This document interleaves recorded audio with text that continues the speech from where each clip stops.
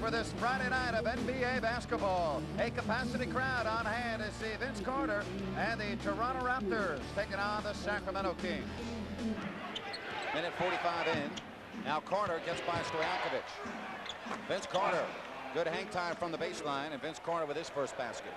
Yeah, I was just wanting to think earlier, you know, we saw a... Stojakovic. Carter gets it back. Boy, Peja's staying right with him. Well, you know what? You got to tip your hat to your opponent sometimes, but that's good defense by Stojakovic. Well, and that's, and that's what... Uh, well, Peja has had more good looks yep. in his first half of a quarter than he does in most games. And Carter fouled, and he'll have a chance at a three-point play. And fans look for a foul. They don't get it. Carter with Kristen. And it counts. Vince Carter, when we come back, will be at the line looking at foul on Jason Williams. And with 2.03 left here in the first, the Kings lead by six. Just couldn't get it fall. Carter with the pretty spin move.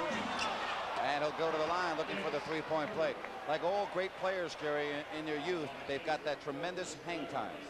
Well, yeah, Vince Carter. Well, not all, but I'll say that certainly Vince Carter is one of them that does. Here you see the nice spin move away from traffic, hangs in there and, draws the foul. But what, what Vince does, besides the great jumping ability, very strong and has that great quickness. Uh, here again, Jordan-like. You know, it's not fair to compare anybody to Michael Jordan, but that's what Michael could do is create space always between himself and the and the defender with his. The struggles continue here tonight. And Vince Carter answers back. He's got 18. And you see with Vince, uh, as we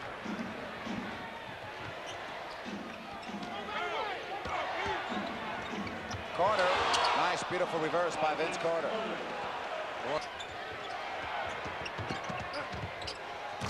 And Vince Carter with the baseline dunk. And I will do it. And the Kings and Toronto seven-game win streak. Vince Carter with 25, but it's not enough because Vlade Divac and the Sacramento Kings were too strong from the get-go.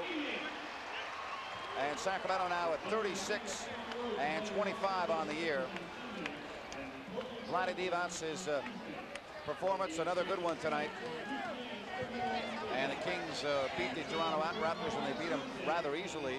Toronto, the hottest team in the NBA coming in. But uh, the Kings uh, win it 103-88.